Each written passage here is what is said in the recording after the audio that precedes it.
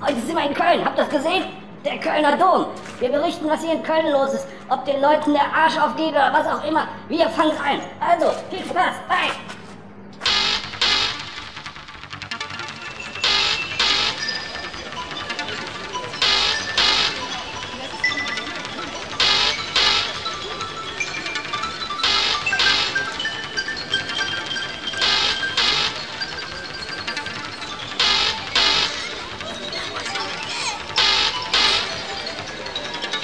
Foodbox TV. Wir hätten gern ein paar Fragen an Sie.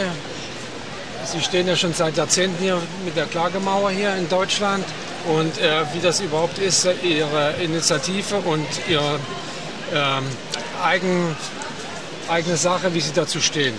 Ja, ich bin Walter Herrmann. Ich habe äh, hier vor 20 Jahren, eigentlich sind schon 21 Jahre, angefangen, eine Klagemauer zu bauen gegen Krieg und Unterdrückung. Das fing an mit dem Golfkrieg 1991.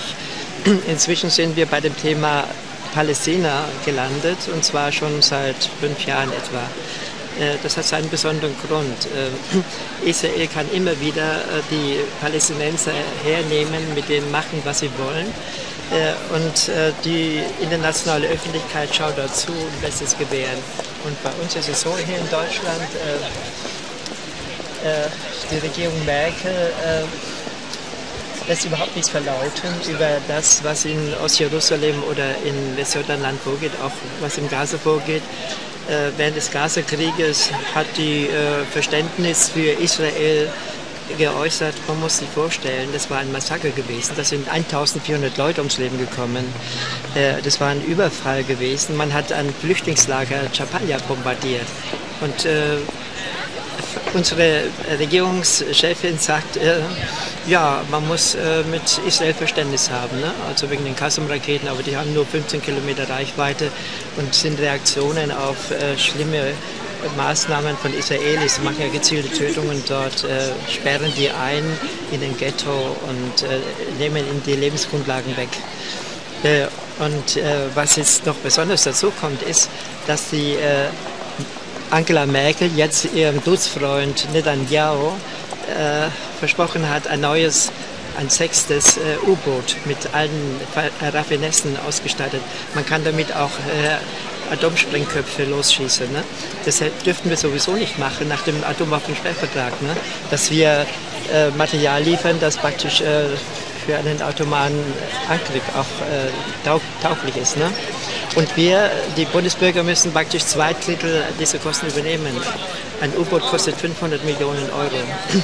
Äh, ein Drittel müssen wir direkt bezahlen und das andere Drittel ähm, läuft so, dass äh, Israel äh, der Bundesrepublik äh, Militärgüter anbietet, äh, die eigentlich die Bundesrepublik gar nicht braucht, ähm, um dann noch das restliche zwei Drittel rüberzubekommen als Euro. Ne? Und das ist eine Schande. Vor einem Jahr hat Frau Merkel noch gesagt, ähm, als Netanyahu dieses Schritt angefordert hatte, ähm, sie wollte das nicht machen, solange diese Siedlungspolitik weitergeht, man immer mehr Land den Palästinensern wegnimmt und äh, sie äh, äh, kaserniert. Und jetzt hat sie äh, voll äh, die Forderungen von Netanyahu erfüllt. Ne? So läuft es immer wieder. Äh, Israel Druck aus und wenn wir uns dann hier zu Wort melden und hier diese Bilder zeigen über das, was da wirklich geschehen ist, dann äh, werden wir so in die Zange genommen. Ne? Also der Oberbürgermeister von Tel Aviv hat von der Stadt Köln gefordert, dass hier das verschwindet. so einfach ist es nun mal nicht. Äh, wir haben ein Urteil des Bundesverwaltungsgerichts in Leipzig erkämpft, nachdem wir hier den Versammlungsstatus beanspruchen können. Das liegt äh, daran, dass hier Leute selber eine eigene Meinung schreiben können und äh, damit ein Dialog stattfindet über dieses Thema. Man hat dann eine Resolution entworfen und verabschiedet. Äh, das ging über den Oberbürgermeister und die Parteien wurden aufgefordert, diese Resolution zu unterschreiben. Allein die Partei Der Linke hat da nicht mitgemacht. Und die Repräsentanten der katholischen und evangelischen Kirche haben auch unterschrieben. Und der Inhalt der Resolution war, das ist eine Schande für Köln, das ist eine antisemitische Hetze. Äh, und ähm, ja, und es wurden noch andere Gruppen aufgefordert, sich dieser Resolution anzuschließen. Der Vorstand der alten Feuerwache, wo wir unsere Sachen abstellen, äh, hat die auch unterschrieben und wir hatten die größten Schwierigkeiten dort. Äh, man hat uns erst eine Abmahnung äh, geschickt und äh, dann hat man uns auch äh, die Räume gekündigt und äh, sogar Hausverbot erteilt. Uns gelang es allerdings, eine außerordentliche Mitgliederversammlung in diesem Bürgerzentrum hinzubekommen, das dann eine Zweidrittelmehrheit für uns ergeben hat, sodass alles wieder rückgängig gemacht werden musste. Das zeigt doch, äh, was alles angestellt wird, um uns hier diese Aktion zu, äh, nicht möglich zu machen. Ne? Dann waren so junge Leute da gewesen, die auch so Israel-Fans sind. Wir nennen die Antideutsche, äh, sind bekannt in anderen Städten auch. Und die kamen immer wieder, um uns Plakate rauszureißen oder Hakenkreuze auf die Unterschriften zu schmieren und uns anzuspucken, äh, Schilder wegzunehmen, auch äh, hier einen Stuhl mit, den, mit der Spendentose. Immer wieder so Überfälle. Aber das hat jetzt nachgelassen. Äh, jetzt äh, über Winter waren wir nicht so präsent gewesen, jetzt sind wir wieder da. Die können nicht neu nochmal so eine Kampagne auffahren. Ne? Also irgendwann ermüden die. Ähm, und äh, wir denken, dass wir das noch weitermachen. Es ist auch notwendig, weil sich an der Situation der Palästinenser nichts ändert. Und Deutschland ist auch äh, mitschuldig, weil Deutschland äh, Israel in jeder Beziehung unterstützt. Äh, es geht nicht um einen gerechten Frieden dort, sondern nur äh, Israel die Stange zu halten. Ganz gleich, was sie auch immer machen. Ne? Finden Sie auch, dass die deutsche Geschichte oder die böse deutsche Geschichte mit dran schuld ist, dass man heute Israeli nicht mehr äh, kritisieren kann? Finden Sie, dass da wirklich auch äh, vernunftbegabte Deutsche, die differenzierter das sehen, aufwachen sollten und wie Sie darüber diskutieren? Ja, es gibt jüdische Persönlichkeiten wie Evelyn Hekalinski, die zu uns steht, äh, die sagen, ähm, wenn man äh, diese Geschichte sich ansieht, was da in der Nazizeit geschehen ist, dann kann nur eine Konsequenz daraus kommen, nämlich die, immer dann einzutreten, wenn eine Volksgruppe diskriminiert wird und in den Rechten äh, schwer beeinträchtigt wird. Äh, und äh, das ist eine Botschaft, die man weitergeben kann. Also in diesem Fall im Konflikt Israel-Palästina ist es dann eben so, dass die Palästinenser, die Ausgegrenzten, die Gedemütigten, äh, die ihre Rechte beraubten sind. Und äh, da ist es uns eine Verpflichtung, äh, dazu die Stimme zu erheben. Ne? Und es sind auch Persönlichkeiten wie Stefan Hessel, der im KZ gewesen ist und schwer gefoltert worden ist und dann später bei der UNO die Menschenrechtskonvention mitentwickelt hatte. Der war hier gewesen mit seiner Frau und hat uns den Rücken gestärkt. Also ihm kann man nicht vorwerfen, er war Antisemit. Äh, sein Vater war Jude gewesen und er identifiziert sich auch mit der Geschichte des Judentums. Und er hat hier auf dem Karton geschrieben, ähm, ähm, ja, das ist der Karton, den er geschrieben hat. Es war im Juni 2011 gewesen. Man muss sich erinnern, Israel dankt seiner Existenz der UNO. Aber was die UNO von Israel verlangt, seit 60 Jahren, ist Israel ganz egal. Es haut weiter auf die Palästinenser an. Schrecklich. Stefan Hessel, Juni 2010. Das war 2010. Äh, also was wollen wir noch mehr? Also äh, wir haben äh, auch große Unterstützung. Es ist nicht nur so, dass gegen uns gearbeitet wird, es wird auch für uns gearbeitet.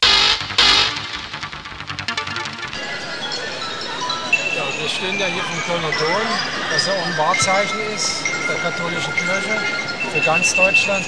Und mich würde mal interessieren, Sie haben ja in Ihrer langjährigen äh, Laufbahn in diesem Bezug äh, viele Persönlichkeiten aus anderen Religionsgemeinschaften getroffen wie ja. die dazu stehen und wem sie da alles so begegnet ja, sind. Also, dass wir hier stehen auf diesem Platz, äh, haben wir natürlich dem Bundesverwaltungsgericht in Leipzig zu verdanken. Politische Informationsstände sind hier nicht erlaubt, aber weil wir den Versammlungsstatus haben, geht es hier.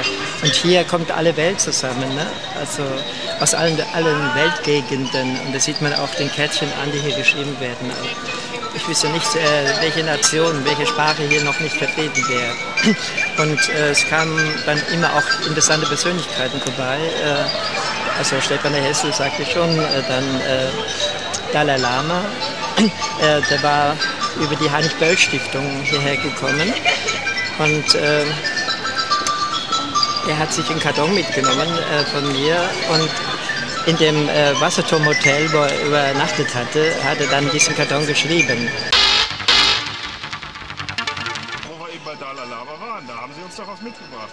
Ja, wir haben nämlich den Karton, den er uns geschrieben hat, dann auch so eine Postkarte gemacht. Ne? Und die habe ich hier. Also die sind in Tibetisch geschrieben. Äh, und äh, das können ja meistens die Leute nicht lesen. Deswegen haben wir dann äh, hier auf der anderen Seite in Englisch und in Deutsch den entsprechenden Text. Möge das Licht des Mitgefühls und der Liebe, durchdrungen von aufrichtigen Gedanken, grenzenlos und überall strahlen. Denn es ist für alle Lebewesen, die sich nach Glück sehnen, das Fundament, Glück für jetzt und auf Dauer zu erlangen. Buddhistischer Mönch aus Tibet, Tenzin Gyatso, der Dalai Lama. Es war im Juli 1995. Also wir wurden einmal äh, von einer Zeitschrift, äh, die vom Bundesverwaltungsamt äh, an die Goethe-Institute geschickt worden äh, sind, ähm, war dieses Motiv mit dabei gewesen. Also die Klagemauer, wie sie am Dom noch stand. Und äh, da war nicht nur dieses Bild, da waren auch so ähm, Leute, die hier Kärtchen geschrieben haben, porträtiert mit ihren Texten. Und äh, diese Zeitschrift äh, hatte eine Auflage von 1,5 Millionen, sodass praktisch die Klagemauer so über die Welt bekannt wurde. Wir waren ja auch dann in anderen Städten gewesen, nicht nur hier in Köln äh, haben wir die Klagemauer aufgebaut. Wir waren zum Beispiel in Leipzig, in Berlin, äh, ähm, dann äh, vor allem in Amsterdam. In Amsterdam war es wunderschön. Wir waren da sechs Wochen am Spreu gestanden und haben den ganzen Platz in Anspruch genommen. Aber die Holländer hatten da viel Verständnis dafür und wir hatten keine großen Probleme. Probleme hatten wir nur in Köln und in Berlin. Und in Berlin hatten wir dann die Sprungrevision zum Bundesverwaltungsgericht geschafft. Und da war dann alles wieder gut gewesen. Die heilige Stadt Köln, wie haben sich denn die, ja, die Geistlichen angestellt? Haben Sie da einen guten Kontakt zu?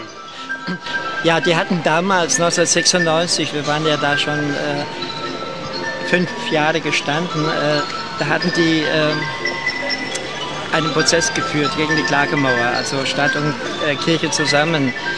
Ähm, und äh, den haben wir natürlich verloren. Äh, war irgendwie auch verständlich, weil wir da vorne am Eingang ziemlich äh, groß aufgebaut hatten und damals hatten wir noch nicht den Versammlungsstatus. Ähm, dass wir überhaupt äh, da erstmal so für längere Zeit stehen konnten, haben wir praktisch äh, einen amerikanischen äh, Kunstpromoter zu verdanken, der uns nach Louisville, der Hauptstadt von Kentucky, eingeladen hatte. Und zwar offiz hochoffiziell. Er hatte diese Installation, die man hier sehen kann, als äh, ein Beispiel neudeutsche Kunst angesehen. Und äh, dann hat sich die, die Stadt geschämt und hat dann alles zurückgegeben, was sie wieder einkassiert hatte. Und wir konnten erstmal weitermachen. Aber fünf Jahre später war es ihnen dann doch zu viel und da haben sie den Prozess geführt gegen uns. Und danach haben wir dann in verschiedenen Aktionen äh, immer wieder deutlich gemacht, dass wir die Klagemauer weitermachen wollen. Also äh, in verschiedener Formen. Zum Beispiel hatten wir Stangen, da hatten wir hatten Kettchen angeklebt oder Schilder, dass die Klagemauer wiederkommen muss. Ähm, und da wurden wir immer gejagt von der Polizei und äh, ich war oft in äh, Gewahrsam gelandet. Aber wenn man bei der Sache bleibt und nicht gleich aufgibt, kann man gewinnen. Die Stadt hat sich selber einen schlechten Dienst erwiesen, hat sein Image als liberale Stadt erstmal verloren. Und äh, es war dann sehr vernünftig gewesen, äh, dass wir jetzt wieder diese Möglichkeit haben und es wird auch toleriert. Letztendlich äh, kommen die Politiker auch nicht dran vorbei, auch wenn sie jetzt Israel in jeder Beziehung die Stange halten wollen. Es war auch zum Beispiel Abbé Bier hier, äh, der in Frankreich diese Obdachlosenbewegung Emmaus ins Leben gerufen hatte. Ne? Und von dem stammt der Satz, der bei uns auch sehr wichtig ist, überall zuerst den Schwächsten oder denen, die am meisten leiden, äh, zur Seite stehen. Das ist die Quelle jedes lebendigen Friedens, in der Familie, in der Stadt, auf der ganzen Welt. Und das ist unser Leitspruch hier. Ne? Und äh, wer will da etwas dagegen sagen? Eigentlich das ist ein gutes Ende so. Ja. Ich bedanke mich für, für uns, für die Wutboxer ja. und wünsche Ihnen viel Glück, alles Gute und wir sind immer auf Ihrer Seite. Danke. Ja, vielen Dank. Ja.